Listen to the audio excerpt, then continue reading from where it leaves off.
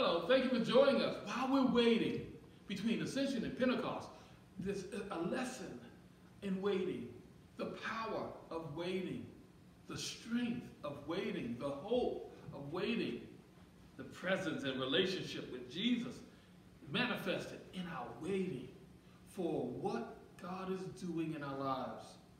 We don't put a prayer in and get something out. It doesn't happen that fast all the time. Sometimes we have to wait on the Lord.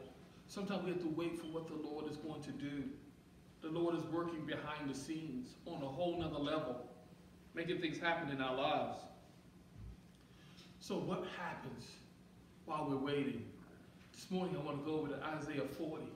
And Isaiah 40 says, they that wait upon the Lord. He said, they shall renew their strength. Strength becomes stronger and stronger. Each day we become stronger while we're waiting. We become stronger because of the promises of Christ that we're standing on. Promises through his word that we're standing on. Every day we become stronger. They that wait upon the Lord shall renew their strength. They're going to mount up on wings like eagles. They're going to fly above. They're going to fly above those things that held them down. They're going to fly beyond where they were before. They're going to fly into places of opportunity, places of blessing, and places of position. They're going to fly to places that they did not understand before.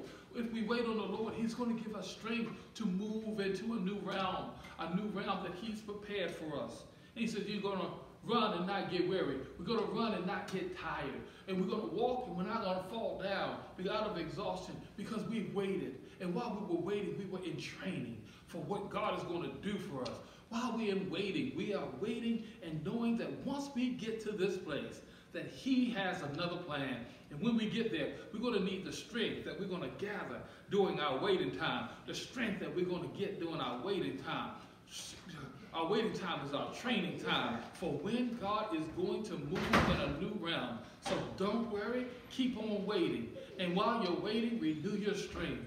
And while you're waiting, bounce up on wings. While you're waiting, get ready to receive what he has done for you, knowing that you are not abandoned, knowing that he is with you, and knowing that he will bring to fulfillment that which he has put into your lives.